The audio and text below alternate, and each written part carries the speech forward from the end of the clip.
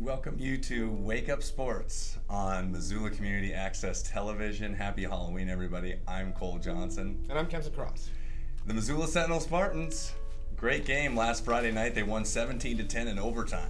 Uh, uh, Mitch Roberts had a touchdown run in overtime, and Brandon Morley two interceptions in that contest as the Spartans survive in OT. Uh, it was a defensive battle.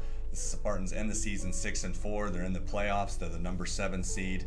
But it was a dogfight in the second half. Uh, defensive battle all the way through. Kempson, what did you see in this game, and how did uh, you see Sentinel compete? Well, you're absolutely right. It was a defensive struggle all night long, and that was part part of the reason for that was the offenses struggled with penalties all night long, and so that that helps as far as on a defense. But the defense has to take advantage of the opportunities when they're there, and they did all night long. They were able to get good uh, penetration and get several sacks on each side.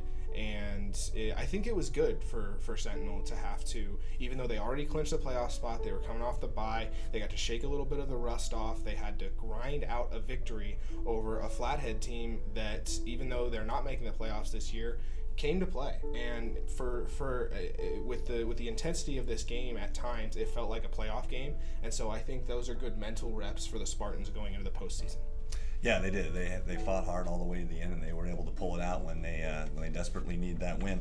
Looking at the uh, out of town scoreboard, Billings Senior undefeated 10 and 0, 14 and 0 or 14 to nothing win over Missoula Hellgate on the forfeit there. Kalispell Glacier took care of business against Missoula Big Sky, winning 47 to 7. Very impressive there. Billings West went into Helena High, lost that game 35 to 28. Give Helena High credit. Um, a very big win there. Bozeman wins 38 to 16 at Skyview. Um, Helena Capital 35 to 28 winners um, over Billings West there, or excuse me, um, at Butte. And Sentinel winning 17 to 10 over Flathead, and Great Falls um, beating their crosstown rival CMR 34 to 6. Very impressive um, win there. CMR actually beat Glacier for Glacier's only loss of the year, and CMR's not even in the playoffs. So stranger things have happened. Let's go through the playoffs right now. Sentinel, number seven seed, like we mentioned, playing the number two seed Glacier High Wolfpack. Glacier beat them 63 to 62 at Washington Grizzly Stadium last month. Um, what do you see in that game? How do you feel like Sentinel's best chances of winning are in that? Well, I think we've been saying it since last year. Sentinel remains explosive but inconsistent, and that kind of goes for on both side of, sides of the ball. On on Friday night, it was a good it was a good job by the defense, who uh, is arguably better than last year, even though last year they were pretty good, especially with coming up with stops at clutch times but uh, this offense as well has been able to develop and grow over the course of, of the regular season. And um, they need to make it it's, it's hard to make all the plays that are there. They need to make it at the very least most of them on mm-hmm. friday night at kalispell glacier. Uh, it was a crazy all-time great game last time at washington grizzly stadium a, a, a, a instant classic of a shootout. And but the thing is glacier is an offense that can score with anybody in the state. Uh, the defense sometimes give the, gives the offense a little bit too much of an opportunity to prove that, um, and I think that's the best case scenario for for Sentinel to not dig themselves into a hole like they did with a couple turnovers last time, and they struggled with turnovers against Flathead as well. So that's a little bit of a concern. But if they can get into a shootout and they're both offenses are firing on all cylinders on Friday night. This is going to be a fun game to watch. And Glacier, arguably the top challenger of Billings Senior, it'd be a big upset if Sentinel was able to pull it off, and it would be a great milestone for this program. It sure would. Yeah, I mean, it would definitely be a huge upset. Um, number eight seed uh, Missoula Big Sky going up against the number one seed undefeated uh, Billings Senior. Yeah, two Missoula teams in the playoffs. I still got the M.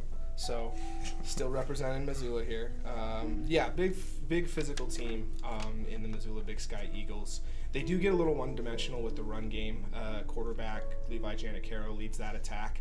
He's he's a, a kind of athlete that could be an all-state running back but uh, he's at the quarterback position. And when they're able to get that ground game rolling, then it can be they can grind out victories. They've almost pulled a couple upsets this season, but 62 to 20 was how it looked. Is is kind of how it looks. Uh, that was their last meeting against Billings Senior earlier this year, and I think that's kind of how it, it might look if they aren't able to get that run game going when they have to rely more on the pass game.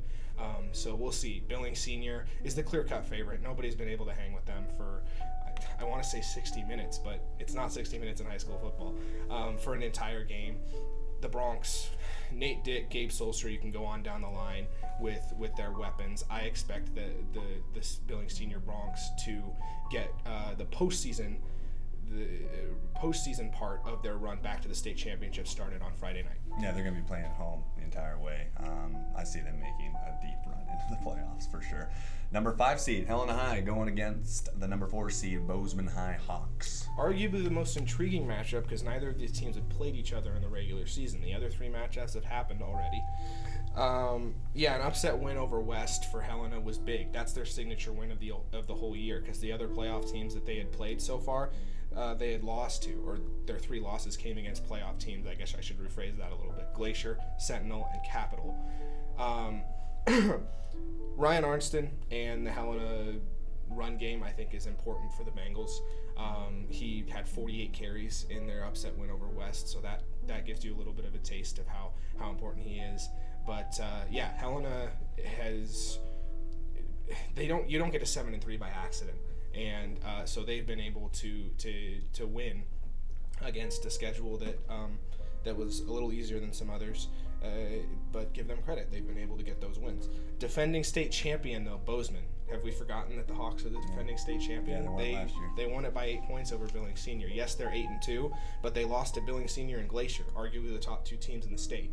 So the Hawks are going to be on the warpath. Callahan O'Reilly, Lance McCutcheon. Um, Callahan O'Reilly is the new quarterback for for Bozeman. Lance McCutcheon is another good playmaker for them. They lost their head coach, but it's it's sort of a transition year, and they're still eight and two. So that tells you a little something about the Bozeman Hawks program. I, I expect Bozeman to uh, to advance out of this game, but Helena will will put up a fight for sure. Yeah, Bozeman High, it's defending state champions. You know, that means a lot when you played in games like those for sure. Uh, last playoff matchup, that's on Saturday. Capital High taking on Billings West. Capital, arguably the hottest team in the state of Montana, or at least in Double A football, with a five-game win streak after they started the year one and four, with that win coming on a Missoula Hellgate forfeit. That was it. The uh, but those four losses were to some of the top teams in the state. Um, eh, well, at least most of them were. And then their defense. Uh, I mean, the the crosstown rivalry with Helena was a three nothing ball game. So that gives you a little taste of what their defense means means to the Bruins team.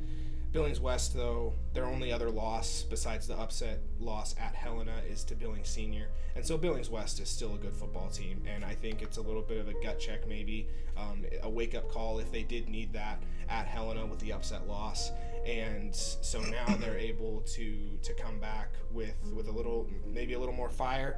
Um, the Deming twins, Bryson, Braden, and the rest of the Billings West playmakers, the Golden Bears, I think will will be able to to get a win on Saturday afternoon. But we'll see. Capital will keep it close with that defense. I expect that to be a hard fought football game. Should be an interesting playoff weekend for high school football, and we will definitely be recapping all of those games next Monday on our Wake Up Sports segment on MCAT. So we will see you next Monday. Have a great Halloween and a great rest of your week.